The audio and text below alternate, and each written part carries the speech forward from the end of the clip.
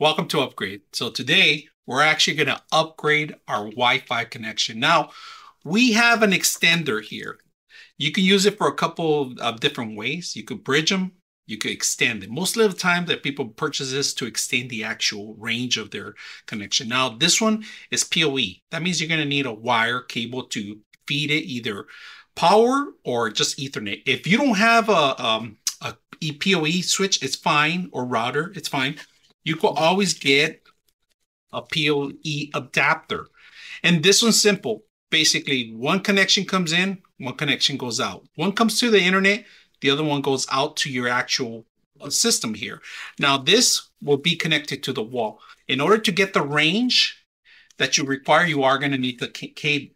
Now, if you think that you're within range of another router or wireless device, you could bridge them too. But recommendation, you want to get the full throttle on the actual um, extender is to connect it. Now, in the back, you could add a DC, which is a 12 volt connection that you connect here, or like I said, PoE switch. If you have a PoE, you could connect it here.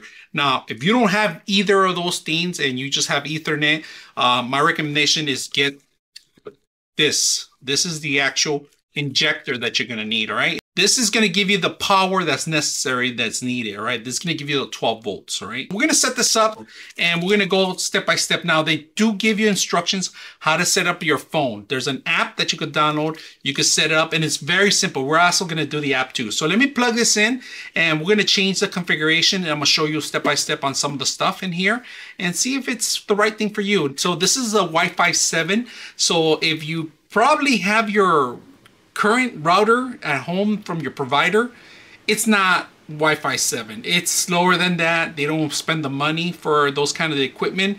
So recommendations, maybe look into something like this to get you either further uh, extended to your um, facility or your house. Now, I'm going to use this for an actual shop that I have.